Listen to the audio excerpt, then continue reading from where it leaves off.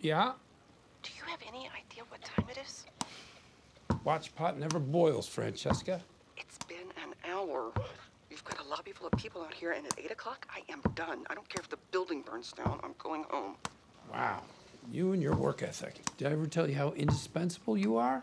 No? How much longer, Saul? You know what? I can't say. So pass along my sincerest apologies and tell them I'm swamped. Everyone can hear you bouncing that thing. That's the sound of thinking. You should try it sometime.